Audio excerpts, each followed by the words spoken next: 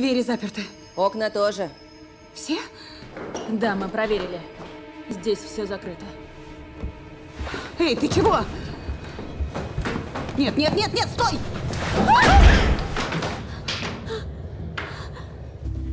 В Швеции подтвердилась вспышка вируса, похожего на агрессивную форму птичьего гриппа. Ходячие мертвецы. В доме вы в безопасности, но вы должны следовать правилам. Раз в три дня вы должны принимать таблетки. Вы должны будете сдавать анализ крови. Вскоре для этого откроется медицинская комната. Все серьезно. Вы ключ к созданию вакцины против вируса.